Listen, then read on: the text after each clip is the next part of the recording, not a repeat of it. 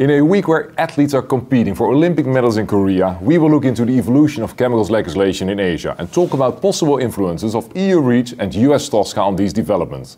Which legislation is the most ambitious? REACH, TSCA, K-REACH or before jumping to conclusions, I will look into this interesting topic with Robert Kiefer from REACH 24H and Herb Estreicher from Keller and Heckman. Robert, could you provide in short an overview of the interrelation and impact of TSCA and EU REACH on the developments of chemical legislation in Asia? Countries are looking at both, uh, both systems currently um, as to what pieces they can incorporate. They're both major influencers in the world. Uh, many uh, countries uh, who are looking to do business with EU REACH has to uh, comply with its regulation, so some countries are looking at adopting some of the provisions out of EU REACH. U.S. TSCA, with its reform, is uh, focusing primarily on prior prioritizing existing chemicals, and you have other systems such as uh, Japan and Australia who are doing the same thing. Um, so countries are probably looking at uh, a mix of the two as to you know what pieces that they can incorporate into their existing regulations. Herb, anything to add? Yeah, well, I, I, guess it kind of depends on where the countries were in terms of the evolution of their chemical legislation before REACH started. So if you look at the Asia Pacific region, you had legislation in Korea, in Japan, um, in ta Taiwan, uh, in Australia, in New Zealand. Um, and the countries that were more advanced in terms of chemical legislation, some of them have moved towards a REACH type system. You know, in particular, Korea, uh, although Korea originally started with what I would say was a TSCA type system, where you had registration of new chemicals and then prioritization of existing chemicals, which is what TSCA is doing now. They are now under the new legislation, which is waiting adoption by the Assembly, uh, are planning to uh, submit, subject the entire Korean inventory to a registration process, just like in Europe. Taiwan It's not clear yet. Uh, they also started uh, with their legislation with very much a TSCA type scheme, you know, uh, registration of new chemicals, uh, registration of existing chemicals that were selected prior to existing chemicals, but we'll have to see whether they move towards uh, complete uh, registration of the entire inventory. The other countries, with the exception of Australia and New Zealand, are pretty far, and Japan are pretty far away from development of any chemical legislation. And quite frankly, you have to walk before you can run. Robert, what do you believe are the key challenges and opportunities for industry in complying to all these different legislations? Well, industry doesn't have uh, much choice in, in, the matter if they are to comply with the various regulations, uh, if they want to sell into those markets. I think what would be beneficial is if there was uh, some sort of a mutual acceptance of data, um, ability to share data, so that you're not recreating um, uh, you know, testing costs, and then also for the different regulatory schemes that the data requirements are uh, similar. Um, because if you start to have variation in different countries and you can't share the data, then it, it be, you end up duplicating efforts in a lot of cases, and it becomes a costly endeavor. Duplicating efforts is, is a big problem. Now, I understand and I recognize the interest in companies that are data owners to, to be compensated for the data, data that they have. You know, on the other hand, I'm not entirely clear, it's not entirely clear to me that countries like Vietnam or India, countries like that, really need to have a registration program in order to make decisions about chemicals. I mean, there's so much publicly available information on chemicals uh, that they could prioritize those chemicals that they feel are a problem, potential problem, and make regulatory decisions on an appropriate framework. Herb, even if there is a legal framework in place, there is always need for clarification and a ruling on disputes like uh, ECHA's Board of Appeal.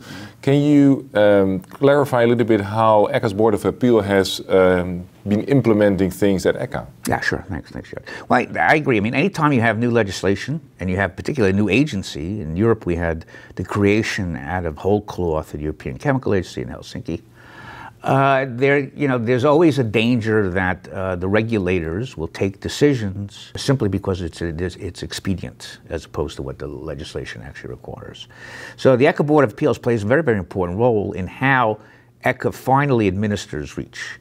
And there are many, many examples uh, where the Board of Appeals has changed ECHA's procedures. ECHA tried uh, because uh, of expediency to use the existing REACH framework to regulate nanomaterials right? And the ECHA Board of Appeals said they didn't have the authority, which is entirely correct. It was up to the legislator to decide how to regulate nanomaterials. And the Commission, as a result, has proposed new legislation which has not yet been adopted for regulation of nanomaterials. So there are many, many examples of how the ECHA Board of Appeals has fundamentally changed uh, the way that ECHA does business. Herb, what are your expectations of the impact of the role of courts in the US uh, for the implementation of the amended TSCA?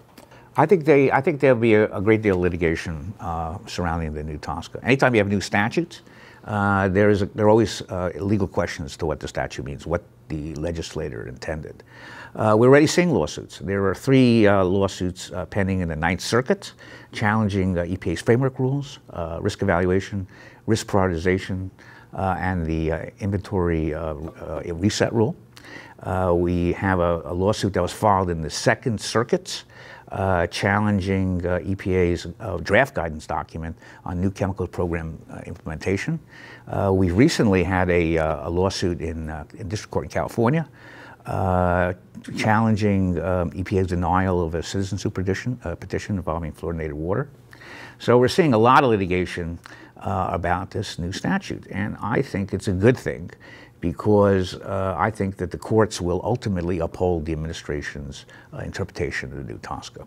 And it's in, and, and, the important thing is that once a court decides what the law says, then it can't, that interpretation cannot be rolled back by future administrations. Uh, however, uh, industry needs to become engaged in the, this ongoing litigation because the only way that a court can make the proper decision is if they hear from both sides. If either of you would be invited to develop a new legislation from one of the developing countries in Asia, which model would you think is most suitable, or which model would you invent? I think uh, most experts uh, kind of point to the Canadian uh, Chemical Management Plan as a model system um, what they did with their uh, categorization and screening of their domestic substance list or their inventory, where they um, basically prioritized. Um, they went through their 23,000 chemicals and came up with a short list of 4,300 chemicals, of which they would then do further evaluations, and they split it into three phases. Um, and that, to many, is an ideal system. Um, in addition, um, ICCA, the um, International Chemical uh, Council Association, uh, has a regulatory toolbox which they have developed for developing countries to implement uh, chemical management systems. And so there's kind of a stepwise approach for them to do that. So, you know, if they were to utilize that in addition to, you know, looking at the Canadian system, and several countries did. I mean, U.S. Uh, uh, TSCA in their reform kind of took that approach uh, with the prioritization step. And Herb, do you have an Asian dream uh, for a legal framework? Well, I mean, again, uh, taking aside the countries that have, have a long history of uh, chemical legislation, Korea, uh, Australia, uh, Japan, uh, taking those countries aside, I think for the other, and Taiwan now, I think the other countries, probably the best thing they could do in terms of, because of limited resources, is they should have a, a strong uh, pre-market uh, manufacturing program or pre, pre-importation program to ensure that new chemicals are reviewed before they go into markets. And in terms of existing chemicals, I would suggest that they simply look to see what Europe is regulating, what the US is regulating, what Korea is regulating, et cetera, et cetera, and say, well, do, are these chemicals used in our countries? Do these chemicals create a problem? Uh, given local conditions, and if they do, then they should act accordingly. I don't see a need for them to uh, to structure their own REACH type system. Thank you both for your expert opinions. Finally, time for jumping to conclusions. There are many tailor-made ambitious regulations around the globe, but how their actual impact might be is also influenced by the role of courts. Together with other stakeholders like industry and NGOs, we're mainly spectators of these events trying to help out with knowledge and arguments. Sometimes this helps, as the Koreans say, words have no wings, but they can fly many thousands of miles.